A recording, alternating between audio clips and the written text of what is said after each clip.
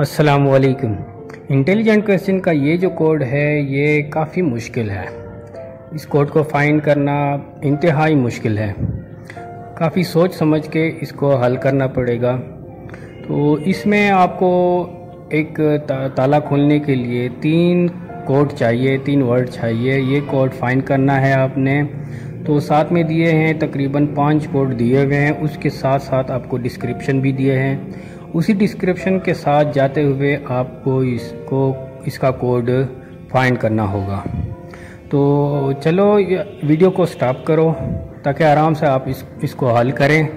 तो स्टॉप करके इसका जवाब आप कमेंट्स में लिखें। कमेंट्स में जवाब लाजमी लिखें, चाहे सही हो, चाहे गलत हो, ताकि आपको अंदाज़ा हो जाए कि आप सही दे रहे हैं आंसर या गलत दे रहे हैं। तो चलो, इसको जवाब हम देते हैं।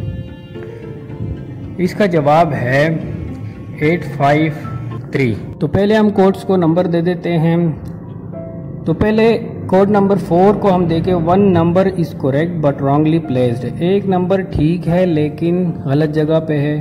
इसका मतलब टू सिक्स एट में से सिर्फ़ एक सही होगा।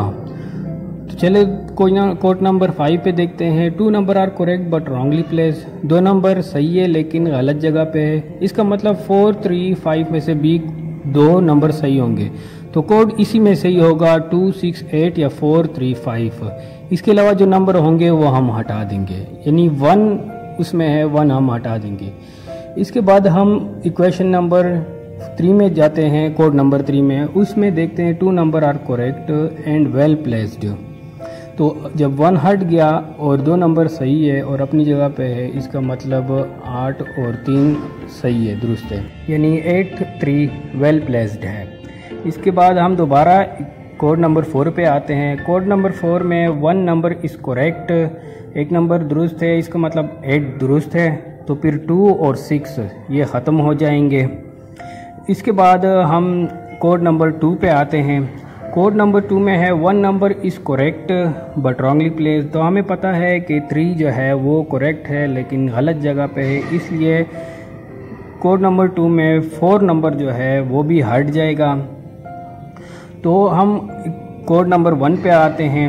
कोड नंबर वन में one number is correct and well placed तो हमें पता है कि फोर ख़त्म हो गया और फाइव करेक्ट भी है, हो गया और वेल प्लेस भी हो गया। तो इस तरह हमारे पास कोड बन जाता है एट फाइव थ्री। पसंद आया तो सब्सक्राइब कर लें, चैनल को और लाइक कर लो और बेल का आइकन दबाओ।